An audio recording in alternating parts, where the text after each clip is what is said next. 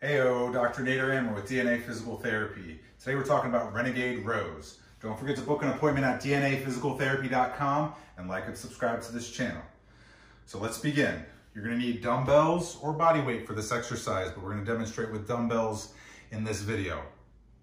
I got 10 pound weights, doesn't matter if they're adjustables or regular dumbbells at the gym.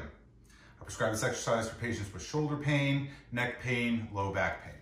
This engages the shoulders, the pecs, the rhomboids, the lats, core, glutes, quads, all the way down to your toes. So let's begin.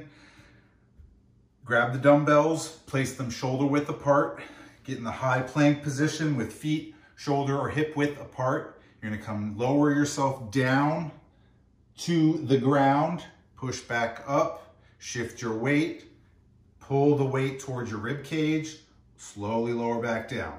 Swift shift your weight again, pull to your rib cage, lower back down. That is one rep.